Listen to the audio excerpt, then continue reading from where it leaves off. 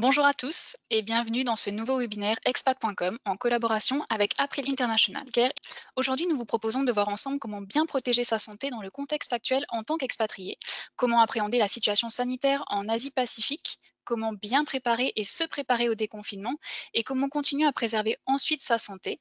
Autant de points que nous allons aborder aujourd'hui dans ce webinaire. Et pour nous en parler, j'ai le plaisir d'accueillir nos experts de l'assurance santé internationale et de la télémédecine qui sont également expatriés en Asie, Grégoire Rastoul, Marion Soué d'April International Care et le docteur Dorota Mikulagic de Teladoc Health. Bonjour à tous. Bonjour. Euh, Grégoire, bonjour. bonjour Grégoire. Alors Grégoire, vous êtes expatrié à, Singapour et vous êtes euh, représentant euh, d'April International Care. Donc aujourd'hui, quelle est la situation sanitaire en Asie-Pacifique ou plutôt quels sont vos conseils, votre partage d'expérience pour mieux appréhender cette situation? Bah, Bonjour tout d'abord Julie, merci. Merci à expat.com de permettre à April International Care d'organiser ce webinaire qui est le premier du genre pour nous en Asie, je crois. Euh, ben, en fait, tout d'abord, on est vraiment ravis de, vous partager notre expérience et on, voulait démarrer euh, ce, webinaire euh, en, vous partageant vraiment une expérience parce que c'est vraiment une expérience dans le sens où aujourd'hui, tout le monde doit rester assez humble dans la situation actuelle. et je pense que c'est nécessaire aujourd'hui de ne pas vous donner des informations en disant que c'est l'information qu'il faut retenir, puisque euh, le, contexte est très évolutif. Euh, April étant partout physiquement en Asie, à Singapour, à Hong Kong, en Thaïlande, en Vietnam, aux Philippines, en Indonésie, euh, on a dû faire face à des situations différentes euh, sur le terrain. Et en fait, notre expérience de cette crise sanitaire en tant qu'acteur à la fois de la santé et de l'assurance, parce qu'il faut savoir qu'on est vraiment un acteur de la santé dans le sens où April ne vend pas uniquement de l'assurance santé, mais on, vit vraiment et on accompagne tous nos clients euh, à travers leur parcours de soins. Euh, ça va du choix de l'hôpital à euh, la, relation potentiellement avec le personnel soignant dans le pays et parfois uniquement la prise en charge. Mais effectivement, on, a des feedbacks du, terrain et de nos clients sur cette situation-là. Aujourd'hui, notre objectif principal, ça va être de vous permettre de vous informer pour mieux comprendre, mais d'anticiper pour prévenir et d'agir plutôt que de réagir. Aujourd'hui, on est, en tout cas, euh, dans le panel, on est tous expatriés euh, en Asie, on est tous français.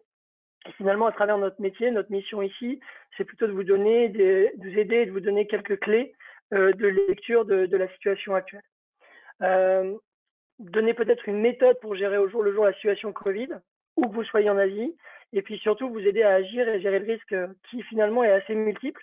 Mais nous, il y a deux risques finalement, euh, nous paraît clés, qui sont le risque santé et le risque financier. Pour rappeler que finalement, euh, cette crise et ce risque de maladie Covid-19 euh, n'est qu'un parmi tant d'autres. En fait, ça, nous permet, également, dans ce contexte actuel, de faire de la prévention et de vous confirmer l'importance de connaître euh, ces besoins en matière de protection santé quand vous êtes, expatrié en Asie. C'est un élément qui est, clé et, ce risque grave du Covid-19 n'est en fait qu'une seule situation parmi, d'autres. Mais concrètement, donc, euh, ce que je voulais dire, c'est qu'il y avait euh, des situations aussi multiples que, que, le nombre de pays. Alors, je voulais, je voulais juste vous donner deux exemples finalement que j'ai pas envie d'opposer, mais qui sont dans des situations actuelles un peu, euh, un peu différentes, qui sont Hong Kong et Singapour qu'on connaît bien, puisqu'on est, on est très présent dans ces deux pays-là. Et, euh, et, alors, sur Hong Kong, finalement, je résumerai ça en disant que la situation est, est plutôt très encourageante, euh, à toujours apprendre au conditionnel, avec une, évolution épidémiologique, avec l'absence de nouveaux cas récemment à Hong Kong, qui semble finalement euh, marquer le pas avec le Covid-19, euh, permet finalement de, penser à une nouvelle reprise avec euh, une réouverture progressive des salles de sport, des bars et autres établissements, tout en maintenant des mesures quand même d'interdiction de se réunir à plus de quatre personnes dans les restaurants. Et à côté de ça, il y a quand même les réouvertures des écoles euh, qui, ont qui vont démarrer le 27 mai, entre le 27 mai et le 15 juin, qui sont quand même une, une bonne, un bon message. À, à côté de ça, donc vous voyez, une situation plutôt encourageante. Euh, et encore une fois, Singapour est à mettre en, perspective par rapport à cette situation-là, puisque euh, Singapour, c'est une situation qui est un peu complexe et, il est très important finalement de lire entre les lignes, qui est finalement le conseil que je vous donnerais, c'est que il n'y a pas vraiment de conclusion à donner systématiquement, puisque euh, on a, enfin Singapour, je dis on parce que j'habite dans ce pays-là et on parle, on parle du pays, voilà, pris en exemple. On a souvent été pris en exemple au début de cette crise par toutes les mesures de traçabilité qui ont été mises en place, comment on contenait les foyers, comment est-ce qu'on allait récupérer la totalité des adresses et des noms des personnes qui avaient pu être en contact avec les personnes. Ils avaient été très efficaces là-dessus. Et on avait tous été présentés comme le pays exemplaire là-dessus. Et finalement, bah, moi qui vous parle maintenant, vous le voyez derrière moi, ça fait euh, un mois et une semaine qu'on est en confinement. Donc ça montre bien qu'il faut quand même rester très, euh, très sérieux et humble par rapport à cette situation. Et puis le deuxième élément que je voulais évoquer, c'est que on dit qu'a priori, le gouvernement a l'air de dire qu'on va sortir euh, de ce qu'on appelle le circuit breaker, qui est l'équivalent du confinement en France, à partir du 1er juin. Mais quand on regarde finalement, on, s'interroge puisque chaque jour, on a entre 500 et 800 nouveaux cas qui sont, qui sont déclarés. Quand on pense à Singapour, c'est assez euh, gros et on est aujourd'hui à 20 000 cas. Et alors en fait, c'est encore une fois une question de lisibilité puisque ils ont mis en place des, systèmes de tests à grande échelle sur les principaux foyers épidémiques, euh, à savoir les dortoirs où les travailleurs euh, étrangers euh, était, enfin, était, et en fait, il y avait eu une énorme vague d'épidémie dans ces dortoirs. Donc en fait, ils continuent de tester ces gens-là, mais, mais ces gens-là étaient clairement déjà infectés. Donc en fait, à chaque fois qu'ils testent quelqu'un, en gros, il est déjà infecté. Mais ce qui ne veut pas dire que, l'épidémie continue et que le circuit breaker ne fonctionne pas. Parce que de l'autre côté, on n'a plus ou très peu de cas, euh, de nouveaux cas dans ce qu'ils appellent les communautés. Donc, vous voyez, ces éléments-là sont clés. Et, en fait, moi, le message que j'ai à donner derrière, c'est qu'il y, a vraiment une, nécessité euh, de prendre du recul systématiquement par rapport à toute la situation. Et donc, je ne me sentirais pas à l'aise, et on en a parlé avec April plusieurs fois, pour vous donner une situation sanitaire extrêmement précise en fonction des pays. Euh, je pense que l'élément qui, est clair, c'est que les mesures évoluent au moins toutes les semaines, voire tous les jours que la difficulté et la multiplicité des informations est énorme. Donc, il y a une vraie difficulté à s'informer. Et, j'ai envie de vous dire là-dessus, euh, c'est là où April finalement euh, se positionne. Nous, on considère qu'il faut être en capacité de répondre aux questions santé et assurance dès lors que quelqu'un nous contacte. On ne pense pas que updater les gens euh, soit une bonne méthodologie dans notre rôle, puisque, euh, ou alors de façon très régulière, sur des cas vraiment d'évolution, puisque ça évolue trop rapidement. Donc, euh, moi, mon message, c'est contacter et définissez les tiers à même de vous donner les réponses qui sont valables et sûres en fonction des questionnements que vous avez. Euh, si c'est la reprise au travail, votre métier, ce ne sera pas nous, clairement. Euh, référez-vous aux sources officielles.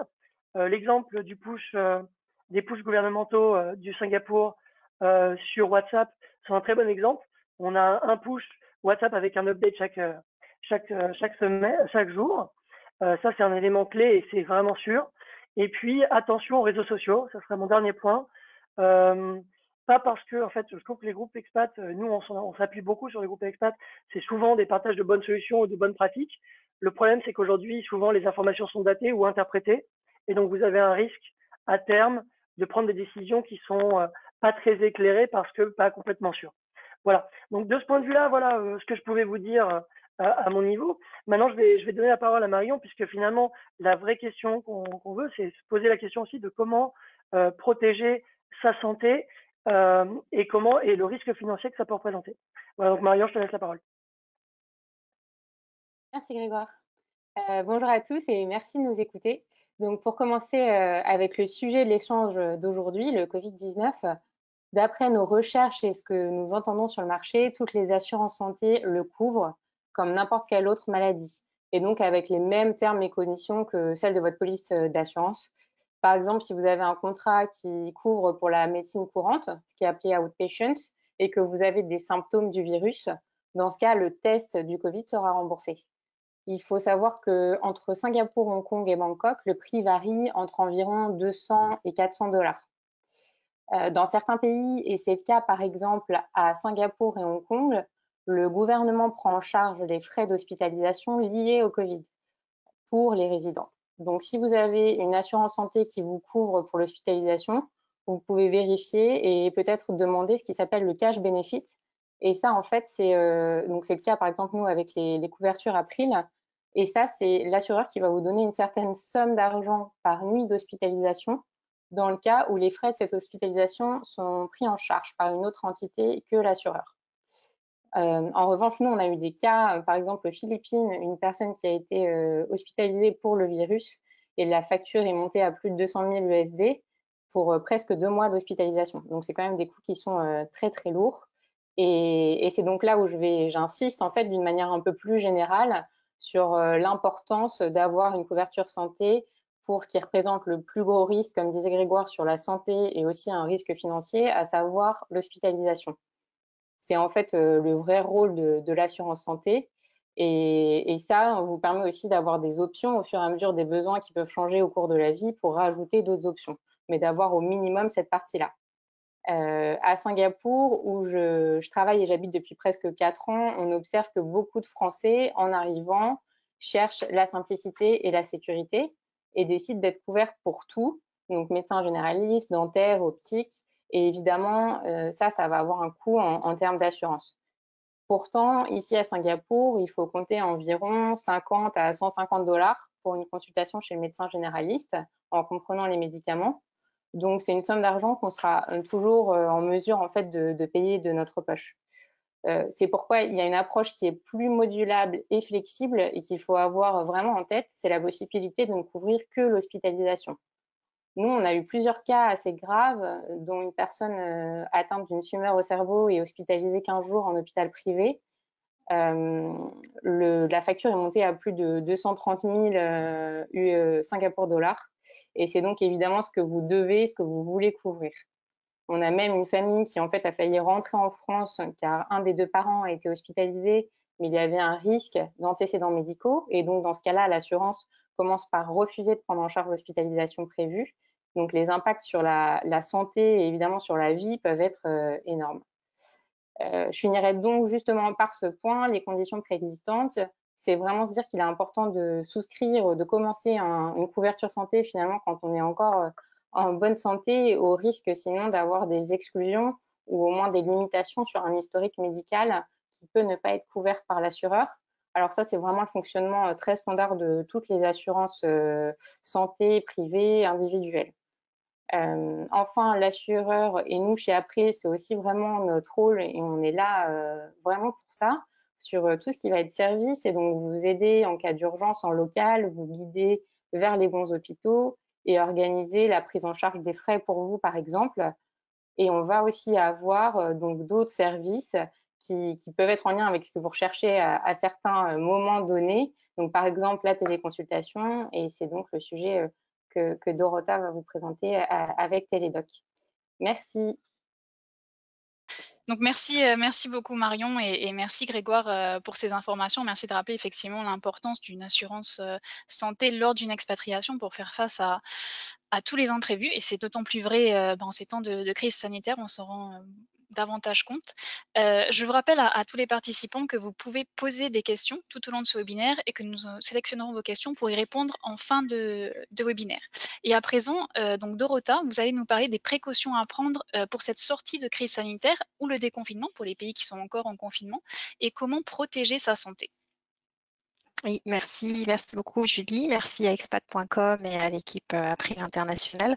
moi, je suis Dorota Mikolagic, je suis médecin téléconsultant pour euh, Teladoc Health. Euh, je suis basée au Vietnam, donc. On m'a demandé de parler un petit peu de, l'après-crise, même si les patients à qui je parle sont sur les cinq continents, et donc il y en a qui sont encore vraiment tout à fait dans la crise, d'autres qui en sortent. Alors en Asie, je pense que ce qui est important actuellement de retenir, c'est que déconfinement et sortie de crise ne signifie pas fin de pandémie. dans le monde entier, le virus continue à circuler, et je crois que les gestes barrières dont on vous a martelé pendant, pendant trois mois et la distanciation sociale que nous avons tous vécue vont très clairement devenir la nouvelle norme euh, et qu'il va falloir les prendre en compte euh, dans notre quotidien pour, euh, pour les pour les années à venir et peut-être peut-être même plus longtemps. et donc, juste un point de logistique avant de, parler un petit peu plus médical. il n'y a pas de traitement pour le Covid actuellement. le seul traitement, c'est la prévention. Et la seule prévention, c'est d'éviter de transmettre le virus. On a tous une responsabilité dans ce, dans ce domaine-là. Euh, nous pouvons tous continuer à nous protéger individuellement et à protéger nos communautés. Euh, il faut se poser les questions, il faut revoir un petit peu notre manière de vivre euh, et reconsidérer les projets de déplacement, les projets de rassemblement. Sont-ils essentiels? Vous l'avez vu lors du déroulé de la pandémie, les voyages ont été un moteur énorme d'expansion du virus voilà, c'est des, questions à se poser individuellement, euh, mais qui vont avoir un impact significatif sur, sur la santé de tous. Euh, et sur un plan individuel, comme, comme Grégoire l'a dit, la situation est extrêmement imprévisible, elle change très très vite. Euh, si je me déplace, est-ce que je me sens prêt à prendre le risque de me retrouver en quarantaine dans, dans le pays où je vais arriver? Ou même dans la région où je vais arriver Est-ce que je suis prêt à être séparé de mes proches? Je pense que parmi, parmi nous et parmi l'audience, il y a forcément des gens qui sont dans ces situations-là, euh, qui, connaissent des, familles qui ont été séparées par, par la crise du Covid. Et sur le plan médical, c'est d'autant plus important pour les gens qui ont un suivi médical, qui ont des problèmes de santé ou qui se retrouvent dans des endroits qui ne sont pas familiers du tout. Euh, donc, réfléchissez vos, projets de déplacement, réfléchissez à vos projets de rassemblement. Euh, sont-ils essentiels? S'ils sont essentiels, eh bien, protégez-vous. Et pour se protéger, bah, rien de tel que les gestes barrières. Euh, je vais vous remontrer cette diapo euh, que vous avez vue un petit peu partout. Euh, les gestes barrières n'ont pas changé depuis le début de la pandémie. C'est une hygiène scrupuleuse des mains, l'hygiène, de la toux, couvrir sa toux et rester à distance des autres. Et maintenant, on parle évidemment de plus en plus du masque. Alors en Asie-Pacifique, c'était déjà très présent dans les, pratiques, mais ça entre maintenant un petit peu dans les, recommandations mondiales. Même si l'OMS n'a pas encore de texte très à ce sujet, on a des, euh, données maintenant qui, euh, qui valident le, bénéfice des masques sur euh, la prévention de la transmission en, collectivité. Donc bah voilà, lavage de mains et masques, rien de très nouveau donc dans, la prise en charge de santé. Suivante, s'il vous plaît. Donc une fois protégé, il faut prendre soin de soi pendant trois mois, nous n'avons entendu parler que du Covid. Euh, nous avons pensé Covid, nous avons vécu Covid. Euh, nous, médecins, nous avons vu euh, énormément de, Covid également. Et c'est difficile d'y penser pendant, pendant toute cette période où on entend parler du coronavirus, mais les gens tombent malades pour d'autres choses également. Seulement, pendant cette période, beaucoup ont préféré différer leurs soins, ont dû différer leurs soins, n'ont pas eu le choix. Et maintenant, maintenant qu'on sort de crise, c'est vraiment le moment de, de rattraper les choses ou d'anticiper et de, de, reprendre soin de soi d'une manière, manière globale. Quatre éléments qui, me paraissent importants ici. Euh, la prise en charge des maladies chroniques, diabète, hypertension, problèmes cardiaques, euh, tout traitement euh, de fond, l'asthme, des, traitements, basiques. on n'y pense pas pendant, les mois de, pandémie, on n'en prend pas soin, mais en n'en prenant pas soin, on court le risque d'une complication à terme. Donc, revoyez, votre, médecin, refaites le point avec votre médecin sur vos maladies chroniques, sur votre traitement c'est important pour, pour se protéger à l'avenir, pour rester en bonne santé. Si on devait croiser le chemin du virus, si on ne l'avait pas encore croisé, c'est important d'être bien, d'être en forme. Ce que j'ai vu également beaucoup émerger en téléconsultation, euh, c'est ce que j'ai appelé euh, les pathologies du confinement. Je ne sais pas s'il va y avoir un terme un petit peu, euh, plus simple, mais toutes ces pathologies qui ont été liées au changement brutal du mode de vie, passage d'un mode de vie actif à un mode de vie sédentaire, passage d'un régime peut-être varié, équilibré à un régime peut-être un petit peu plus difficile parce qu'à la maison, il faut faire trois repas par jour au lieu d'un seul. Euh, il faut s'occuper de toute la famille et on n'a pas forcément le temps d'équilibrer ses repas. Euh, donc, toutes ces petites choses qui font que bah, sur le plan digestif, on n'est pas forcément très bien. et également euh, les pathologies du travail euh, qu'on a beaucoup constatées parce que pour beaucoup, nous nous sommes retrouvés à travailler euh, à la maison sur des chaises en plastique et un coin de bureau du petit dernier qui n'est pas du tout à la bonne hauteur, avec, avec un laptop et je pense que beaucoup y sont encore, hein, qui n'est pas adapté, au cervical. donc toutes ces, toutes ces pathologies-là émergent et vont avoir besoin d'être prévenues, d'être prises en charge. Et enfin, deux points qui me paraissent euh, extrêmement importants, euh, qui, vont, qui vont sûrement vous parler. Euh, ce n'est pas parce qu'on était en épidémie que, la natalité s'est arrêtée, au contraire. elle va sûrement rebondir un petit peu. mais les, les, enfants ont continué à naître. Et ils ont continué à naître dans des circonstances un peu particulières, puisque les, les familles se sont retrouvées isolées de, des grands-parents, alors pour les, pour expatriés notamment, se sont retrouvées isolées des grands-parents et sans le projet de pouvoir rejoindre leur famille à l'été et euh, pouvoir avoir les conseils des grands-parents, les conseils de la grand-mère quant à l'allaitement par exemple. Euh, toutes ces petites choses pour lesquelles les mamans, les papas se retrouvent euh, isolés et sans, sans ressources. Et enfin, un peu le résultat des trois autres et le résultat des trois mois qu'on a vécu tous d'une manière plus ou moins équilibrée, c'est l'impact sur la santé mentale. Et très clairement, il, est, important dans ce qu'on voit en téléconsultation. il n'est jamais, c'est toujours le bon moment de tendre la main si on n'est pas bien.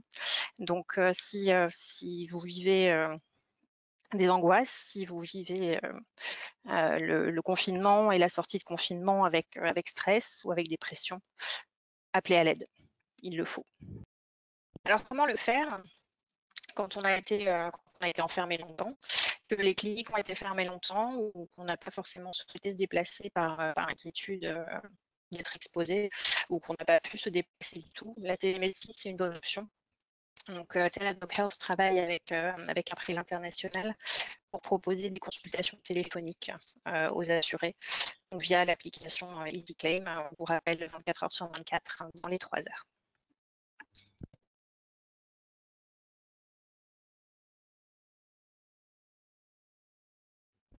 Alors, quand se servir des téléconsultations, euh, on pourrait dire pour tout et tout le temps, oui, mais euh, la téléconsultation n'est pas, euh, le moyen privilégié de, fournir les soins. C'est vraiment un complément, c'est une nouvelle étape du parcours de soins.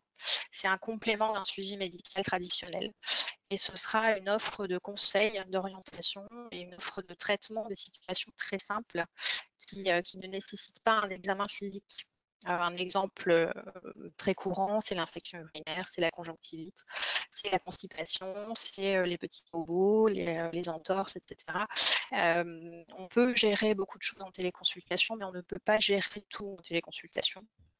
Et je pense que l'un des mots-clés ici, c'est un peu le, fil conducteur de l'intervention de Grégoire, c'est l'anticipation. C'est prendre, prendre rendez-vous pour une téléconsultation, ça permettra d'anticiper euh, quelle, quelle, évolution attendre de mon problème? Est-ce que mon problème va se résoudre tout seul et je peux rester à la maison en toute sécurité? Ou est-ce que mon problème potentiellement peut s'aggraver ou nécessite un examen clinique en présentiel? Euh, Dans ce cas-là, je vais me préparer à sortir de chez moi, je vais me préparer à, aller voir un médecin. Euh, le médecin consultant pourra vous informer sur les meilleurs choix, où aller, comment vous y rendre, est-ce urgent, n'est-ce pas urgent? Donc anticiper vraiment le soin présentiel, c'est vraiment une offre complémentaire. Et euh, pour rappel, on a quand même pas mal de limitations euh, réglementaires sur, sur la téléconsultation. Elle n'est pas euh, reconnue dans tous les pays, notamment sur les, sur les prescriptions médicamenteuses. Elles ne sont pas possibles partout. Voilà pour moi. On va enchaîner sur la partie questions-réponses et euh, ça tombe bien, Dorota, vous, parlez justement des prescriptions. Euh, nous avons une, question de Sébastien qui demande justement est-ce qu'une prescription peut être émise à l'issue d'une téléconsultation et a-t-elle la même valeur qu'une prescription classique? Donc d'après ce que vous dites, Dorota, ça peut varier suivant le pays dans lequel on se trouve. Alors tout à fait. La réglementation est très variable. Euh, dans certains pays euh, d'Asie-Pacifique, euh, il n'y a pas de, réglementation autour de la prescription. je pense au Vietnam, à la Thaïlande, à la Chine. la prescription n'est pas nécessaire ou indispensable pour acheter des médicaments. Dans d'autres pays, elle est extrêmement réglementée. je pense à Hong Kong, au Japon, Singapour, la Corée du Sud. seuls des médecins euh, ayant une licence du pays peuvent émettre une prescription qui sera acceptée dans une pharmacie. Euh, après, dans, la plupart de ces, pays, on peut euh, tout à fait proposer une prescription au patient qui va soit lui servir de guide au moment où il se rendra en pharmacie pour acheter son médicament, pour qu'il s'assure de la posologie du bon médicament, soit elle lui permettra de, bah, de discuter, de s'entretenir peut-être de manière facilitée avec, euh, le médecin qu'il devra rencontrer en présentiel. Euh, je pense notamment aux pays où il y a une barrière de la langue importante, euh, le Japon ou, la Corée du Sud, où on peut faciliter un petit peu, un petit peu la communication en préparant une prescription, certes, mais le médecin téléconsultant ne va pas s'arrêter là, il va aussi préparer un petit compte rendu à l'usage du patient euh, pour, euh, pour expliquer, bah, notamment pour les patients qui ne sont pas nécessairement euh, anglophones, pour expliquer quelle est la situation et ce qu'on attend du médecin qui sera rencontré en présentiel. Mais dans la, grande majorité des, patients à qui je parle, on trouve un moyen pour eux d'obtenir les médicaments dont ils ont besoin si la situation est adaptée à une prise en charge en télémédecine pure. D'accord. Merci. Euh, alors une question, euh, plus sur, euh, l'assurance, peut-être, Marion, vous pourrez y répondre. François nous demande: «Est-ce qu'il y a toujours un délai de carence qui s'applique lorsque l'on souscrit une assurance santé?» Alors, non, en fait, ça va vraiment dépendre des garanties. Nous, par exemple, chez April, on n'a pas de on n'a pas de délai de carence, sauf sur la partie maternité et sur, une partie dentaire qui couvre vraiment des soins très spécifiques. après, vous pouvez avoir des assurances locales qui qui applique un délai de carence pour la prise en charge euh, de l'hospitalisation. Il peut y avoir par exemple 30 jours de carence pour la prise en charge de l'hospitalisation. Et ça, c'est justement pour euh, si des personnes souscrivent alors qu'elles ont déjà en fait une hospitalisation prévue ou, des besoins, euh, voilà, ça ne pourra pas fonctionner dans, cette mesure-là. Merci. Euh, une question de Elodie à présent. Enceinte, enceinte pardon, de 7 mois et expatriée à Hong Kong, je réduis mes déplacements au strict minimum. Auriez-vous des recommandations particulières ou conseils à me donner? Peut-être, euh, Dorota, vous avez évoqué euh, notamment la, partie transport, mais peut-être aussi Grégoire, vous évoqué la situation actuelle à Hong Kong et à Singapour. Peut-être vous avez aussi des conseils pour, pour Elodie Là, honnêtement, moi, je sais pas pour Dorota, mais pour le, docteur Dorota, mais je, moi, je vais pas donner de, de, conseils médicaux à ce sujet-là. non, je, peux partager finalement, euh, moi, je partagerai plutôt des expériences que j'ai entendues par rapport à des gens qui vivent exactement la même situation. Et, euh, et effectivement, ce qui, ce qui a l'air d'être euh, d'être proposé, c'est effectivement de réduire un maximum ces, ces déplacements. Et euh, toutes les personnes qui, euh, que je que connais, qui sont soit des clients, soit des personnes qu'on connaît en expatriation en ce moment, euh, en règle générale, ne sortent que euh, et ne sont en contact qu'avec des personnes qui sont dans leur foyer et en parallèle qui sortent que pour les consultations euh, classiques pour la maternité. Alors à Singapour, je sais sais plus pour Hong Kong, mais pour Singapour, c'est une fois par mois. Ils sont très précautionneux. Euh, mais donc voilà. Mais j'ai pas de conseils particuliers médicaux. Je sais pas pour le docteur Dorota. Alors, sur le plan médical, euh, bah, félicitations pour, pour cet heureux événement qui va arriver. Euh, il n'y a rien de plus que, pour, euh, pour le commun des mortels, je dirais, en précaution, précaution d'usage. Et puis, bah, il, faut, raison garder, effectivement, limiter ses déplacements au maximum. Il faut aussi penser, penser à votre santé mentale.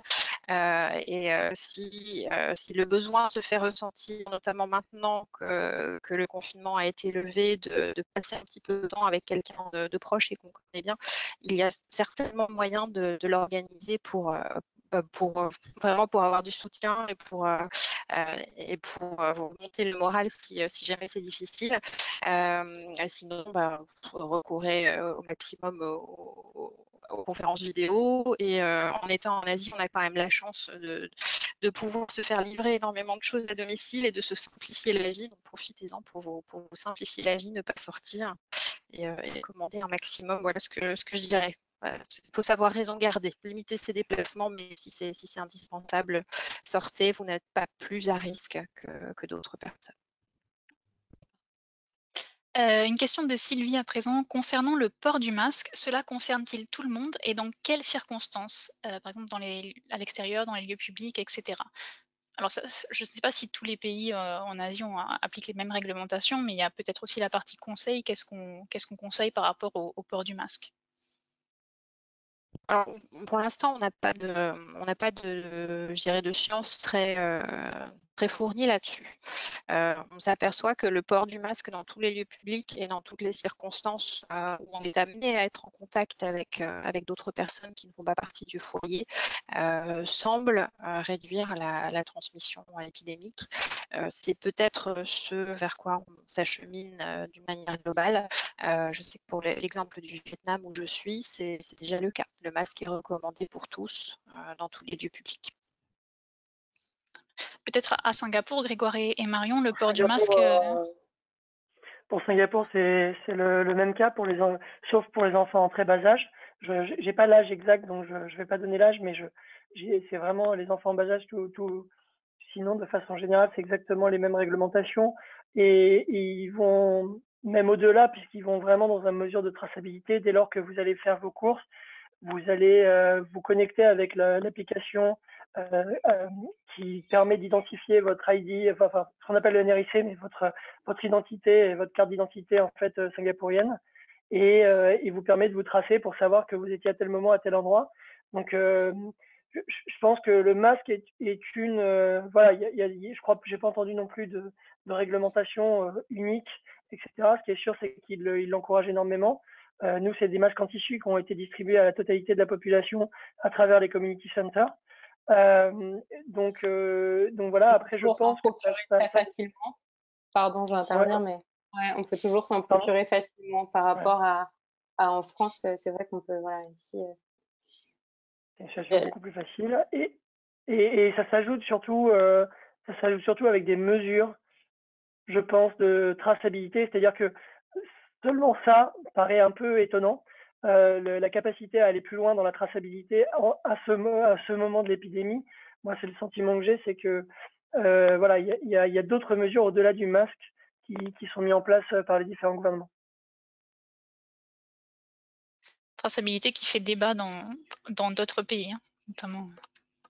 Traçabilité qui fait débat dans d'autres pays, euh, qui, fait, qui fera toujours débat, effectivement. Et, et je ne me positionnerai pas de ce point de vue-là. Chaque gouvernement a le choix de, de prendre ses décisions et, selon ses règles.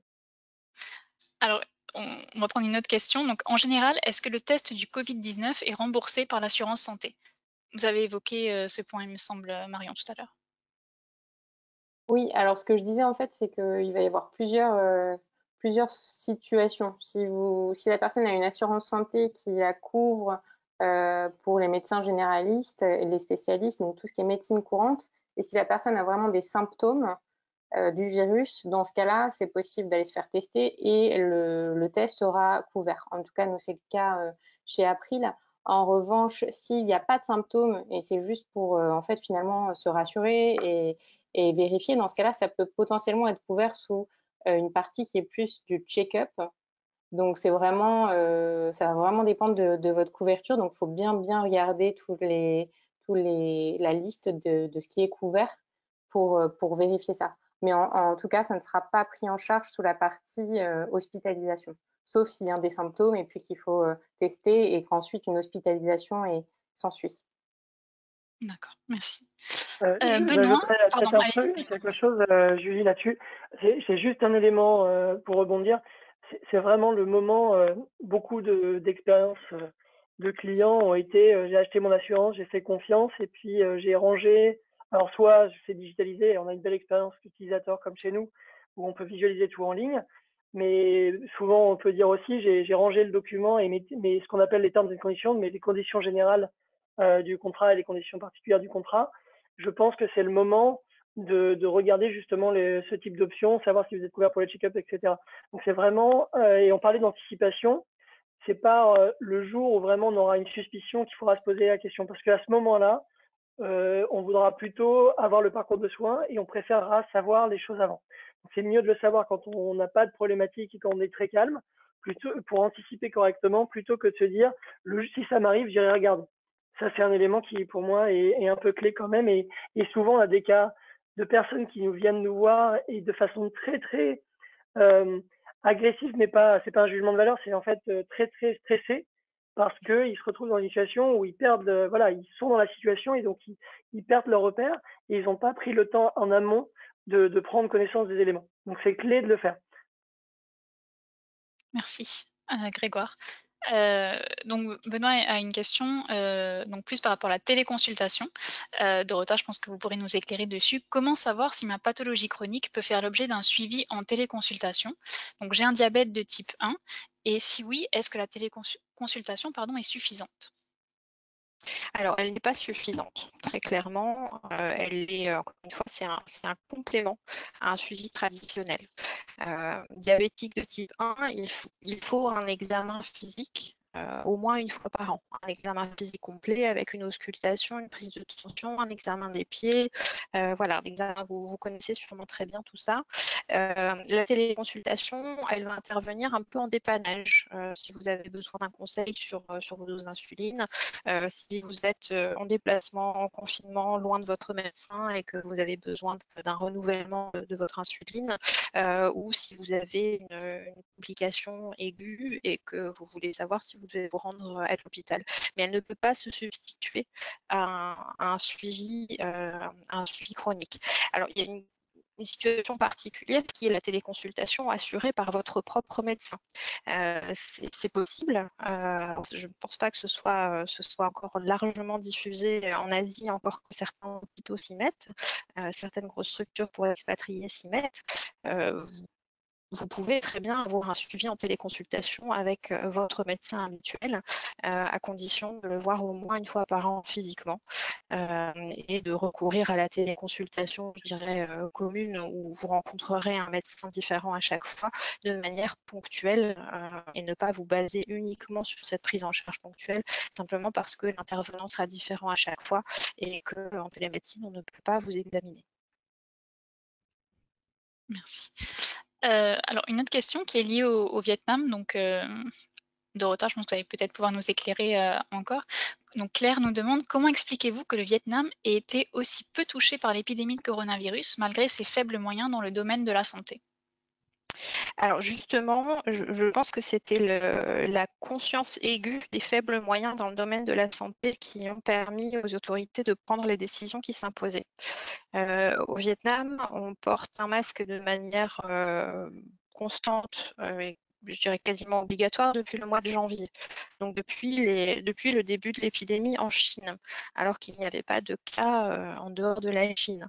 les frontières ont été fermées très très tôt, il y a eu des choix de, mettre les, gens en quarantaine euh, dans des centres de quarantaine où ils ont été surveillés, de, fermer les quartiers, de fermer les villes pour éviter la propagation virale. Et ceci parce que le, pays, euh, d'une part, a conscience des limites de son système de soins et d'autre part, a l'expérience de l'épidémie du SRAS en 2003 qui avait, euh, qui avait émergé euh, à Hanoï, euh, à l'hôpital français, après être passé par la Chine et par Hong Kong, qui avait été extrêmement meurtrière à l'époque et qui avait nécessité de mobiliser bah, la communauté internationale, l'OMS et les autorités autour de, l'ennemi commun avec, avec un succès notable. Donc je pense qu'il y a une, combinaison d'expérience, de, conscience des limites du pays et, et de décisions très très très anticipées.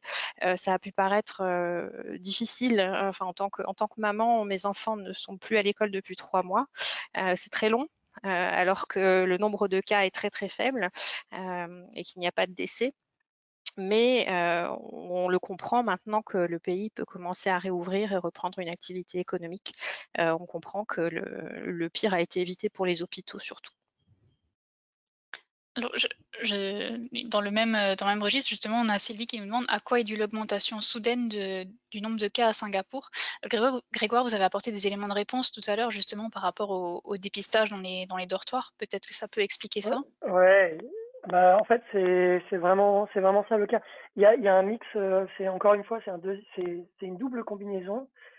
c'est vraiment une combinaison de, de l'identification dans les dortoirs, encore une fois, des foreign workers, où il y a eu des identifications de cas et où il y a eu une massification et une systématisation du, des tests, des tests au Covid-19, ce qui fait que bah, systématiquement, évidemment, dans un dortoir de, travailleurs, globalement, le, risque que tout le monde soit infecté est quand même très élevé. Et en fait, on voit une évolution progressive parce qu'ils ont un, un, nombre, alors je, n'ai plus exactement le nombre exact, peut-être que le docteur Dorota a là, mais je, je, crois que c'était aux alentours de 3000 tests par, par jour. Et en fait, on a un nombre limité de tests par jour. Donc, et en plus, ces tests-là sont utilisés pour les tests, les premiers tests positifs, mais cinq jours après pour un second test pour s'assurer que la personne est bien malade, et aussi pour un test pour après la quatorzaine. Donc, en fait, le, le fait est qu'ils ont un nombre limité, donc ils peuvent pas tester tout le monde d'un coup, ce qui fait que ça voit, on voit une évolution, mais c'est parce qu'en fait, ils testent toujours les gens les uns derrière les autres, et qu'en fait, on voit une évolution, mais globalement, c'est quand même très concentré. Donc, on, voit une augmentation, mais quand on regarde, par contre, la répartition, euh, c'est ce que je disais quand il fallait vraiment lire entre les lignes, c'est on a le sentiment que le circuit de breaker fonctionne quand même. C'est-à-dire qu'on ne voit pas d'autres environnements ou une accélération. On voit une, euh, voilà, une augmentation systémique entre 500 et 800 cas par, par jour. Encore une fois, euh, c'est une interprétation de la présentation et c'est ce qu'on entend effectivement dans, le secteur médical, etc. Mais, mais ça paraît assez cohérent puisque quand on regarde les choses, on voit que le gouvernement singapourien malgré cette croissance, continue à dire, a réouvert un certain nombre de, va réouvrir un certain nombre de choses à partir du 12 mai, et en parallèle, va continuer de dire qu'ils vont, vont commencer à déconfiner à partir du, 1er, euh, du 1er juin. Euh, merci. Donc, euh, Laura, euh, Laura veut aborder donc l'aspect psychologique euh, du confinement.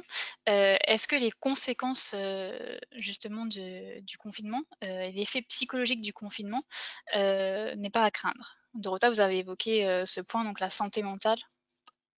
Oui, euh, oui, je pense euh, que ce sera, ce sera étudié euh, de manière très intéressante par les, par les chercheurs, les scientifiques dans les années à venir. L'impact, il, est, il est présent.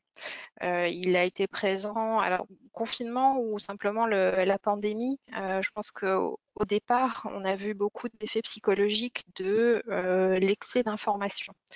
Euh, Grégoire parlait des réseaux sociaux, euh, l'excès d'information, les réseaux sociaux, euh, la présence permanente du, Covid et de, des nombres de morts sur, sur nos écrans, sur tous nos écrans, les grands, les petits, auprès de nos amis qui retweetent et qui, qui partagent les informations. Donc, on, a vu vraiment une montée de, de l'anxiété depuis, depuis le mois de janvier. et là, on est à, à dans, beaucoup de, pays, on est encore en plateau, euh, en plateau d'anxiété.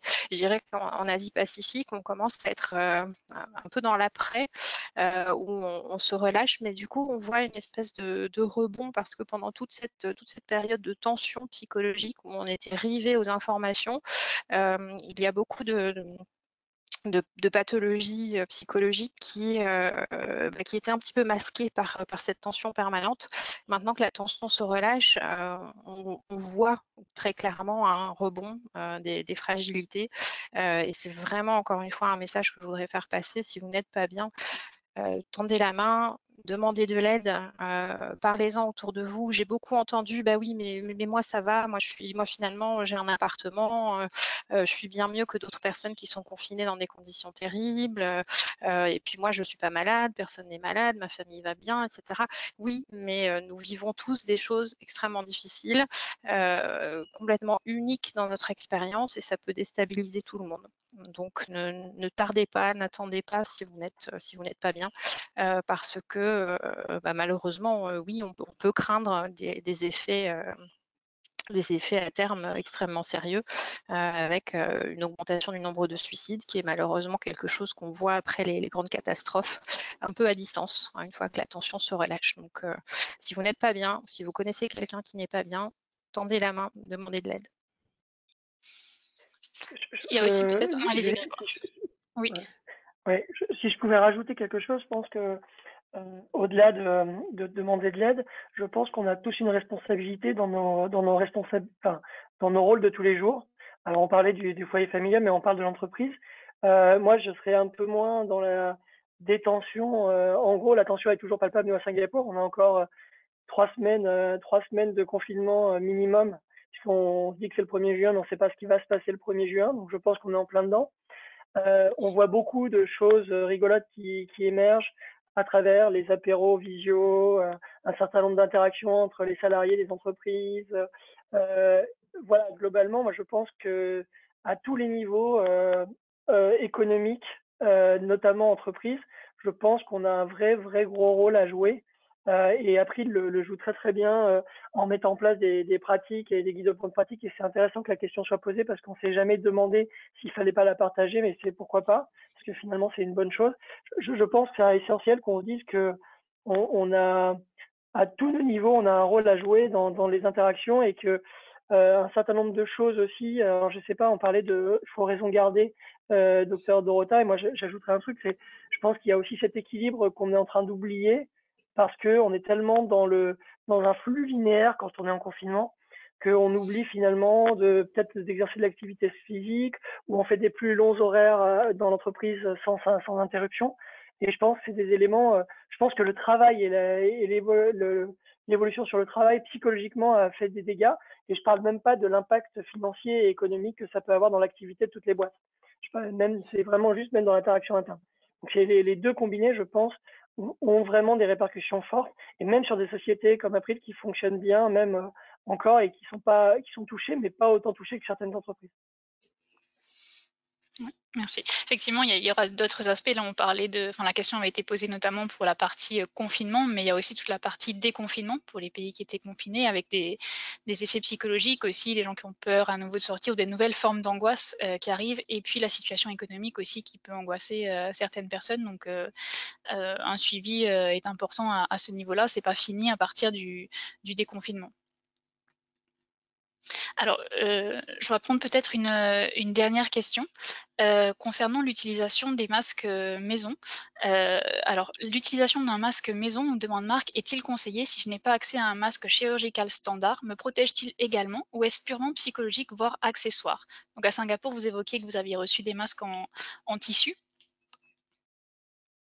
Oui, tout à fait. Alors, pour, euh, pour l'avis du médecin, euh, le, masque, même en tissu, même non chirurgical, même non aux normes FFP2, euh, il est là pour, protéger les autres surtout. il ne vous protégera pas nécessairement vous. vous. Allez vous protéger grâce aux gestes barrières, en lavant les mains, en restant à distance. mais si vous êtes porteur sain, vous allez protéger les autres en portant un masque. C'est pour ça qu'ils sont extrêmement importants, ces masques même en tissu. Parfait, merci. Eh bien, merci euh, Grégoire, merci Marion et Dorota d'avoir partagé euh, votre expertise et votre expérience aussi en tant qu'expatrié en, Asie. Et merci à tous d'avoir assisté à ce webinaire. Donc, pour toute question complémentaire, n'hésitez pas à contacter les équipes d'April International Care et de Teladoc Health. Euh, le contact s'affiche sur votre écran, notamment l'adresse email de, de, Marion que vous pouvez contacter pour toute question. Donc, marion.soe.april.com. et puis, pour toutes vos questions liées à votre expatriation, votre quotidien d'expatrié en Asie-Pacifique, je vous donne rendez-vous sur le forum d'expat.com. Merci à tous, prenez soin de vous et à bientôt. Merci, au revoir. Merci.